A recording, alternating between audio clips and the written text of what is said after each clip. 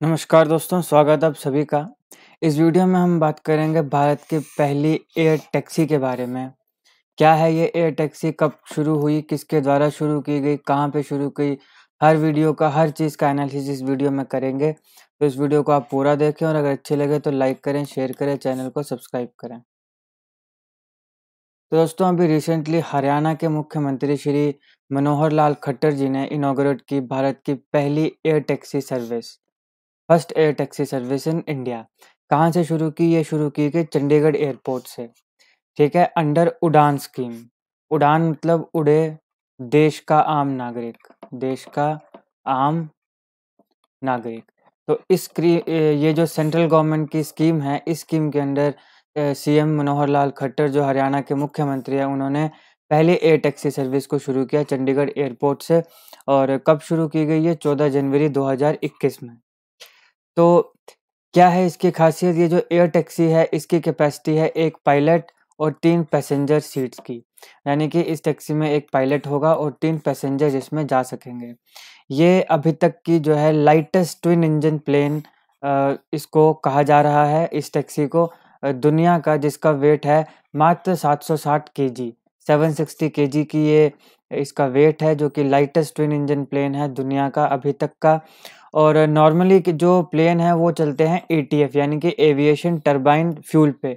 लेकिन ये जो एयर टैक्सी स्कीम के अंडर ये जो प्लेन है ये चलेगा एवी गैस या स्टैंडर्ड 92 ऑक्टेन पेट्रोलियम के आ, के मदद से राइट बजाय कि एटीएफ एविएशन टर्बाइन फ्यूल के।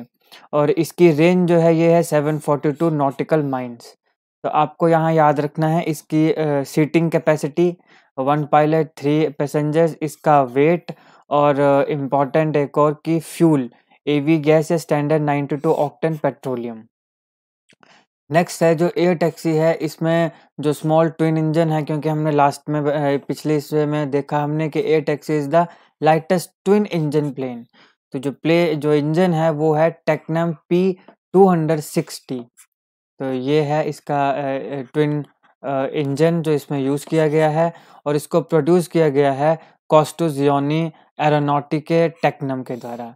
यह है कंपनी का नाम। और अगर आपने इसमें जाना हो, इसमें अगर अगर अगर आप बैठेंगे तो इसमें आपको पर सीट का प्राइस पड़ेगा one thousand seven hundred fifty five ठीक है?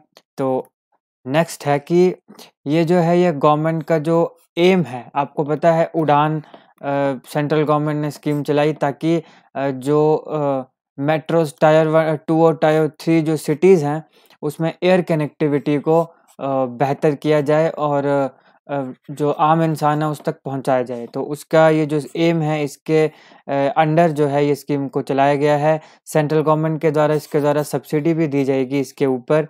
जो 14 जनवरी 2021 को शुरू किया, जैसे मैंने आपको बताया मनोहर लाल खट्टर जी ने तो फ़र्स्ट फ़ेज़ जो है वो चंडीगढ़ टू हिसार रूट इसको स्टार्ट किया गया।